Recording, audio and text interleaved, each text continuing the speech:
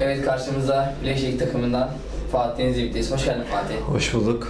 Bugün iyi top oynadınız. Oyunun sonuna geldiniz. Evet. 2 gol attın. 4-0'lık Evet. 70 gol aydınız küçük Evet. karşısında. Maç hakkında görüşünü alıyorum. Ee, maçın zorluğu geçeceğini biliyorduk. Maçtan önce arkadaşlarımızla konuştuk. Ee, playoff oynama adına önemli kritik bir maçtı bizim için.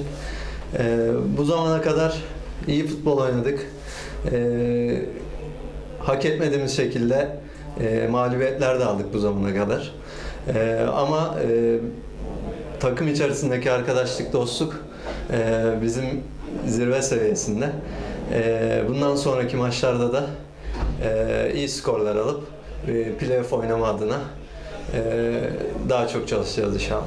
Büyük ihtimal playoff'a kaldınız. Evet. %100 diyebiliriz. Evet. Playoff'a kaldınız. Ee, önümüzdeki haftada lig bitiyor. Lig serüveni bitiyor. Ondan sonra playoff başlıyor. İki hafta bir zaman var arada, orta- aradan. Playoff hakkında görüşünü alabilirim Fatih. E, Playoff'larda e, geçen sezonlarda e, bir şanssızlığımız vardı. Son iki sezonda da öyleydi. E, bundan sonra artık bu sene playoff'larda başarılı olup e, en kötü final oynamayı hedefliyoruz. Arkadaşlarıma güveniyorum, herkese güveniyorum.